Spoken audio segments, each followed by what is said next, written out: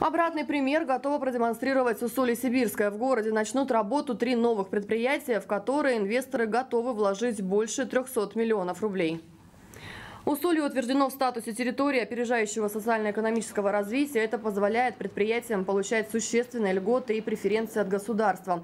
Похожие условия для бизнесменов в текущем году должны подготовить и в Саянске. Кроме этого, в 2017-м в Братске и Иркутске будут открыты производства фармацевтической продукции. Объем инвестиций в них составит почти 2 миллиарда рублей. На севере региона по Дюскутом в этом году запустят проект по сжижению природного газа из Ерактинского месторождения. Часть его будут хранить в цистернах остальные планируется закачивать в трубопроводную систему Восточная Сибирь, Тихий океан.